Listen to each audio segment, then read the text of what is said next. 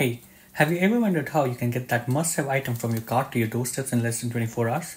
Well, it's a lot more complicated than you think it is. Let's break it down. First, expert planners work with historical sales to forecast demand, ensuring that the products you need are not out of stock. Based on this forecast, high tech manufacturing facilities streamline production for speedy delivery. And then these products are shipped from the manufacturing countries, most likely China, to your home country via planes, well, sometimes, but mostly ships because it's cheaper and it's a lot better for the environment.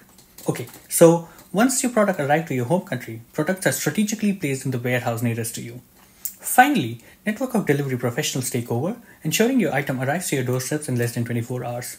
Well, that's how precision planning, manufacturing, and logistics make your wishes a reality faster than Santa does, and he only does it once a year.